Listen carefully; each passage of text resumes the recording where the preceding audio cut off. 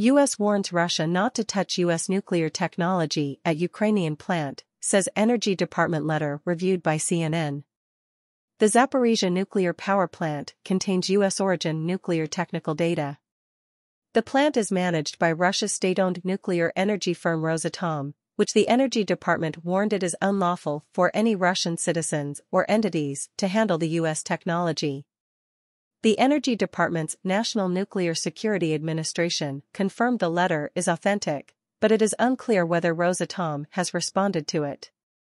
The plant has been occupied by Russian forces since last year's invasion of Ukraine, raising fears of a nuclear accident.